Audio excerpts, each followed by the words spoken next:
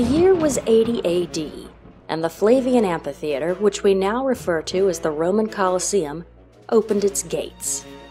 Started under the reign of Emperor Vespasian, the Colosseum was finished when his son Titus became emperor. The seating capacity of the Colosseum was 50,000, an enormous size for the time. Seen from above, the Colosseum is elliptical in shape. It was 188 meters long and 156 meters wide. It was also 50 meters high, or roughly the height of a 12 story building. Part of what held the Colosseum together and allowed for such a grand structure to be built was concrete. The Romans originated the use of concrete, and this substance contributed to the longevity of many Roman buildings. Long before the Colosseum became the center of bloody gladiatorial fights, it was used to reenact famous naval battles from ancient history. The grounds were flooded with water, allowing ships to float and simulate the condition of a battle at sea. Yet, of the many battles fought in this stadium throughout the centuries, the very first battle fought on these grounds may have been mathematical.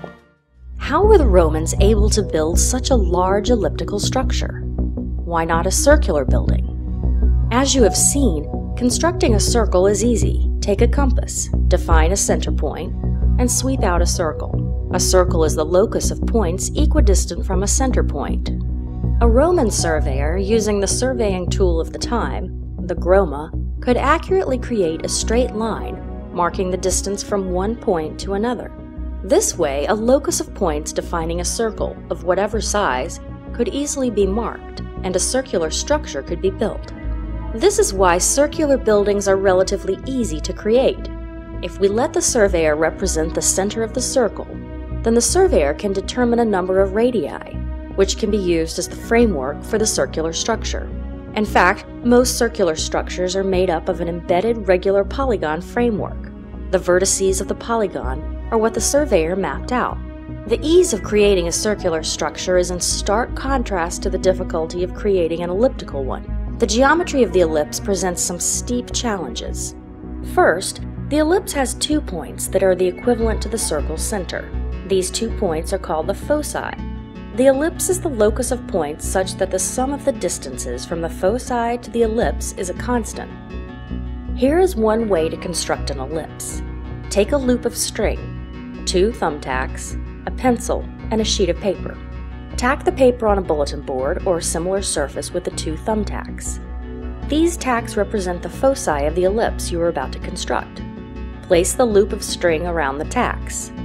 Take the pencil and extend the string so that you end up with a triangular shape as shown. These two sides of the triangle represent the distances to the foci from the vertex of the triangle.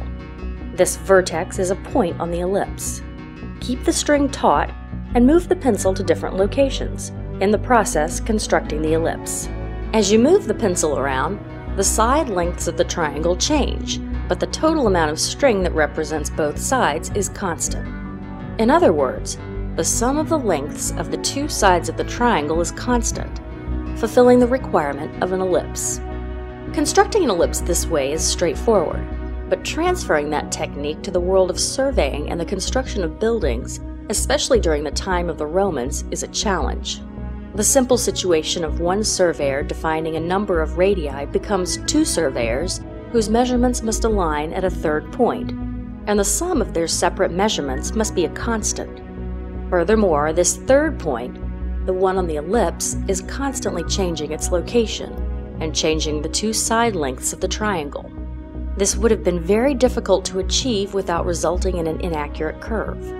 Furthermore, constructing architectural plans or blueprints for an elliptical structure would have been impossible since there's no way to construct an ellipse using a compass and a straight edge. So, why did the Romans build an elliptical stadium? And how did they do it? The first question is easy to answer. Since an ellipse is a wider version of a circle, then the larger area would result in more available stadium seats.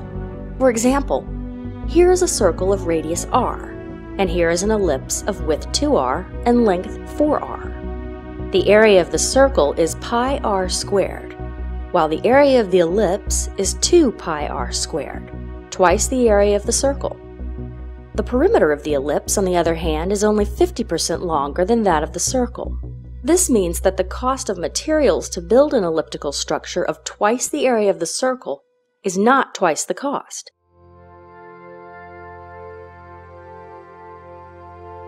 So there's an economical reason for building an elliptical structure. The answer to the second question, how did they do it, is more difficult to answer.